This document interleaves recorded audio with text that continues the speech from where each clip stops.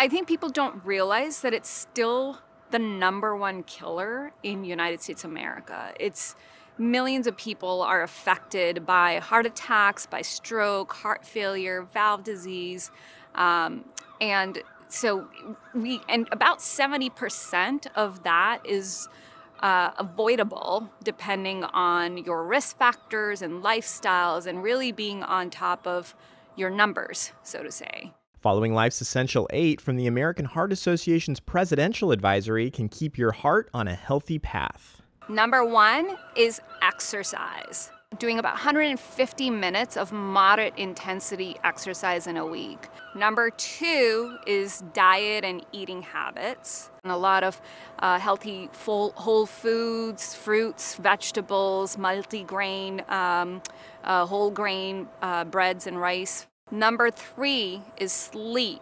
For the average adult, getting seven to eight hours of sleep a night is pretty important.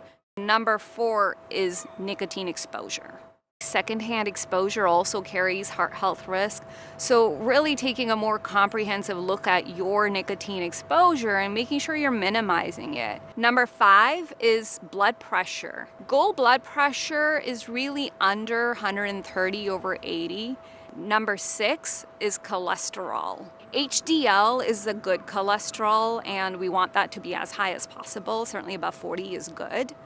But then there is a non HDL component of cholesterol, and we know that different components of that are associated with increased risk of heart disease down the road. Number seven is blood sugar. We love it, we hate it, it's not great for us in, in large excessive amounts of quantities, but okay in little treats. Um, sugar, diabetes, it's a number that you can get easily checked with regular blood work at your doctor's office. And number eight is weight. Keeping an eye on the trends and focusing on the first four factors of exercise and diet will also translate into a better, healthy weight.